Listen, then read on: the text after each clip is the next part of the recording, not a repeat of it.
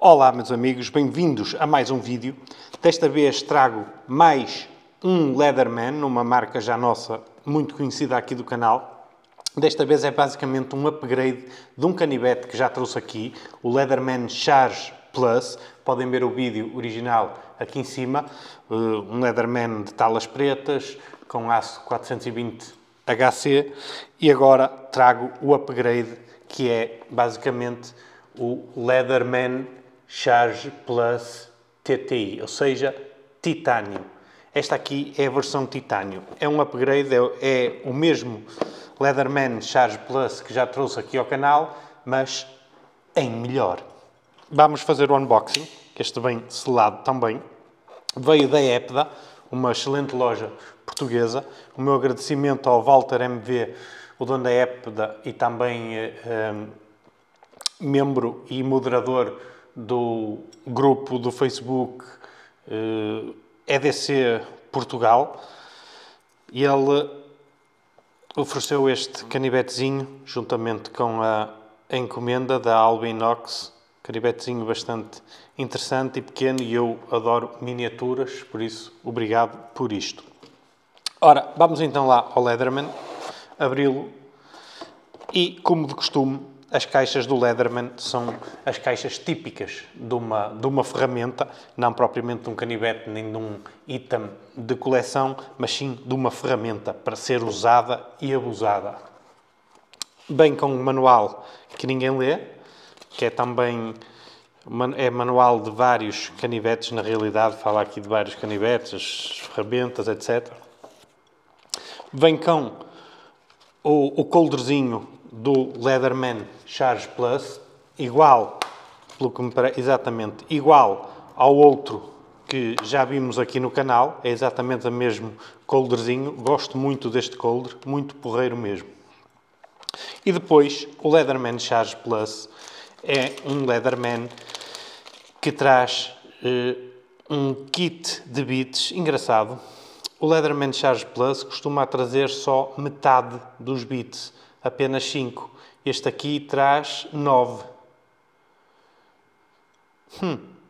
Pois é, o Leatherman Charge Plus traz 5 eh, ou 6, normalmente, só que foi o que vimos no, no outro vídeo, podem ver depois o outro vídeo, eh, traz apenas 5. Este aqui traz 9 o que é bastante interessante, são mais ferramentas. Claro, eu preferia que não trouxesse ferramenta nenhuma e que o canivete fosse mais barato, porque a Leatherman tem aqueles kits que, que são basicamente duas pecinhas destas, cheias de bits, e tem também aqui a ferramenta pequeninha, que neste caso deste canivete já inclui essa ferramenta no próprio canivete, mas traz também a, pequeninha, que é a chave de fendas e a chave Phillips uh, micro, no fundo, para uh, coisas de precisão, como relógios, por exemplo. Por isso eu preferia que não trouxesse isto, e que pudéssemos apenas comprar à parte e ter um. E, e ter a ferramenta mais barata. Não é assim, eles impingem-nos isto com um canivete. Para quem tem apenas um, eh, não é mau, fica sempre com umas ferramentazinhas uh, úteis e práticas, principalmente se for esta versão Charge que traz nove ferramentas, bem porreiro. Mas, mas lá está, eu continuava a preferir que não trouxesse e o canivete fosse mais barato e tinha apenas o tal kit. Bem, traz também o clip do bolso Deep Carry, que é top, e a ferramenta para, uh, se quisermos meter, uh, por exemplo, um paracorde uh, no canivete. Por isso, optamos ou por um ou por outro. Eu, já, vocês já sabem que eu gosto do clip, tal como do outro vídeo. Isto, vou guardar aqui. Esta ferramenta vai para, junto das outras, são uh, bits extra, no fundo, são sempre bem-vindos, apesar de, lá está, ser um desperdício. Este aqui, lá está, oh, estão a ver? Também bem um bocadito branquinho, bem um bocadito branquinho por vir a raspar na caixa, porque ele não é 100% justo à caixa, então bem aqui a raspar na caixa, no transporte, e podem ver aqui, não sei se conseguem uh, detectar aqui, isto gasto e sai estes bocados brancos do cartão da caixa. Bem, a caixa, como não é uma caixa de coleção, é, é para deitar ao lixo. Isto aqui também não preciso, no fundo, apesar disto ter os papéis da garantia, mas não é necessário isto. Vai acabar por ir para o lixo mais tarde ou mais cedo. As outras coisas, obviamente, vou guardar. Este Charge Plus já é um canivete nosso conhecido, tal como o anterior tem as mesmas ferramentas, no entanto, as talas são em titânio. Podem apreciar aqui, deixem-me só fazer uma limpezazinha.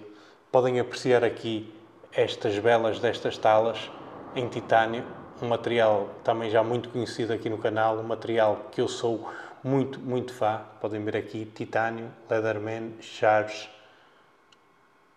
Não diz Plus, mas é o Charge Plus. Se virem aqui também Leatherman Charge Titânio do, do lado de trás diz a mesma coisa. Este aqui, para além das talas em titânio, tem outra particularidade que é, tal como o anterior, as ferramentas são em aço 420 HC, no entanto, a lâmina principal é igualzinha e tem o aço S30V, um aço também já conhecido aqui do canal, que nunca testei, por acaso, na Meio de Bagal, que nunca cheguei a fazer os testes. Talvez faça os testes neste e depois faça aqui uma reviewzinha de como se porta o S30B no Leatherman. E hei de fazer também numa Bagout, para ver como é que é o aço S30B da Benchmade.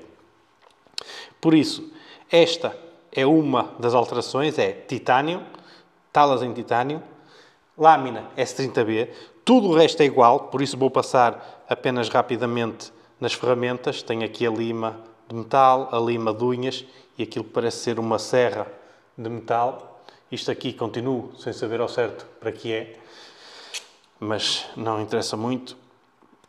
Aqui temos a serra de madeira, uma serra bem jeitosinha. Por acaso aquilo ali deve ser só mesmo para o mesmo para a mesma coisa que é isto, que é para agarrar ali e para puxar a ferramenta, que é o, deve ser só para isso. Não me parece que tenha nenhuma função de descarnar fios aqui. Depois, para além disso, temos ainda a lâmina serrilhada e o gancho, que é porreiro para uh, estripar peixes, etc. Para para abrir os peixes e para os pescadores, eles é que percebem disso. Se vocês percebem ao certo como é que é usado isso, deixem aí na descrição. Eu nunca usei, por isso apenas vi usar. Ora, depois tem, claro, o famoso alicate da Leatherman.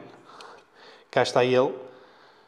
O alicate normal tem aqui esta ferramenta da corta-fios, a fina e a, a, a mais grossa ali embaixo e isto dá para sair, dá para trocar, quando tiver gasto, pode-se trocar e fica, e, fica novo, no fundo. De notar que este aqui, Leatherman Titânio, eles já alteraram. De antes, esta, o Leatherman versão Titânio, este aqui tinha uma, uma depressãozinha, aqui e aqui. Ou seja, isto que tem aqui, tinha aqui um, um pequeninho, redondo, que não sei ao certo para que era. Este aqui já não tem. Este aqui é dos novos e eles já alteraram isso. Uh, sinceramente, eu não ia dar uso àquela ferramenta, por isso não sei ao certo o que sinto sobre eles terem tirado essa ferramenta agora, eh, ou essa função, no fundo, do alicate. Eh, o que é certo é que eu uso bastante o alicate do Leatherman Charge Plus que tenho, e este aqui parece-me parece-me bem, eh, bem porreiro. Está igual, basicamente, por ser é porreiro. Depois tem aqui, uh,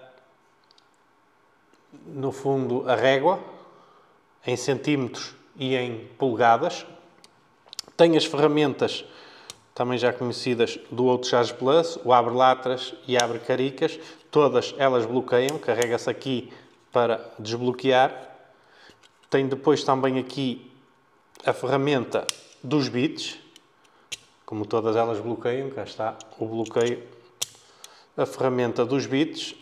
E depois deste lado tem as tais ferramentas, a tesoura, que gosto muito de tesoura.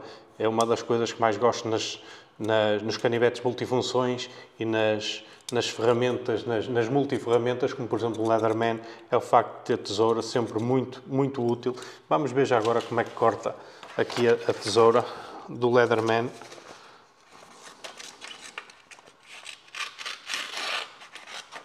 Ok, corta bastante bem. Podia ser mais comprida um bocadinho. Eu acho que eles conseguiam metê-la mais comprida um bocadinho e se calhar uh, era preferível que fosse mais comprida um bocadinho. Em vez de vir aqueles bits, mantinham um preço e faziam uma tesoura mais comprida. Acho que tinha mais utilidade. É, dava bem para fazer uma mais comprida. Depois tem aqui uma chave de fendas, no fundo, que serve também como pry bar, ou seja, como pé de cabra, alavanca para, uh, para alavancar coisas, no fundo, é para isso que serve uma alavanca, claro. E depois tem aqui a ferramenta pequena, que eu queria ver se conseguia abri-la sem puxar outra. Puxar apenas aquela, e consigo. Cá está, a tal ferramenta pequena que tem a chave de fendas, uh, a chave de fendas micro. Deixa eu ver se consigo focar, aqui está ela. E tem também um, as chaves Phillips. Podem ver aqui. Ora, esta ferramenta, lá está, como eu disse, nos kits, naquele kit que se compra separado da, da Leatherman, traz já traz uma ferramenta destas, por isso eu tenho uma ferramenta destas suplente. Isto está bem preso. Ok. E isto é o canivete. Eu pensava mesmo, como estou a abrir aqui ao vivo, pensei que ia ter a diferença do titânio, a lâmina S30V. Pensei que ia ter também era o titânio, a lâmina principal S30B, que não estou a conseguir abrir só com, não estava a conseguir abrir só com uma mão. Pronto. Tem portanto titânio, a lâmina S30B e pensava que ia ter também esta alteração, mas parece que eles já mudaram isso e por isso já não tem. Sendo assim, as alterações é apenas talas em titânio e lâmina S30V. Outra coisa interessante é o peso. São 252 gramas, não me recordo quando é o peso da outra, mas, mas nota-se nota aqui o, o peso disto mas, mas como multiferramenta não é assim nada do outro mundo. O comprimento fechado é apenas 10 cm, que é muito porreiro e encaixa muito bem na mão. A lâmina principal, conseguimos uma pega aqui 5 estrelas. O comprimento da lâmina principal é 7,37 cm e a largura é 3 cm, aqui a largura do, do canivete, e a espessura é 1,9 cm. De notar, no entanto, que vamos fazer um teste de corte, que é uma coisa que temos feito ultimamente até nos canivetes multifunções, e este aqui, claro, com um aço S30B, temos que ver como é que vem afiado de fábrica. Mas antes disso, se estão a gostar do vídeo, não se esqueçam de deixar o like, subscrever o canal, comentar, etc. O que é que vocês acham desta versão? O que é que vocês acham deles terem alterado isto? Engraçado que aqui não diz Leatherman Charge Plus, no entanto, na caixa uh, está confirmado que é o Leatherman Charge Plus. Bem, digam de vossa justiça o que é que vocês acham desta, deles serem feitos esta alteração, o que é que acham do, do material titânio, o que é que acham de o Leatherman uh, ter um, um, um, aço diferente, um S30B aqui na, na lâmina, que acho que é simplesmente fantástico, uma multiferramenta com um aço decente, uh, não é uma coisa que se vê todos, ou melhor, não é com aço decente. Com aço decente, a Leatherman tem muitos, eh, muitas multiferramentas, no entanto, com um aço eh, de alta gama, eh, não é uma coisa que se vê todos os dias e é sempre bem-vindo. Vamos então fazer o teste da afiação para ver como é que vem este S30B afiado e como podem ver, bem 5 estrelas mesmo.